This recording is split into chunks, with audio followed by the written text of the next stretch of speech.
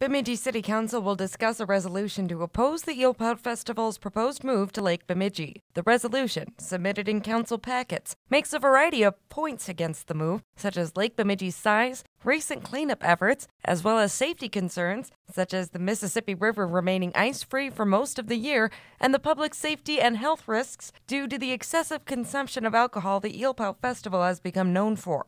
The council will discuss this matter during their regular meeting at 6 p.m. Monday. I'm Larissa Donovan, reporting from Bemidji for PaulBunyanBroadcasting.com.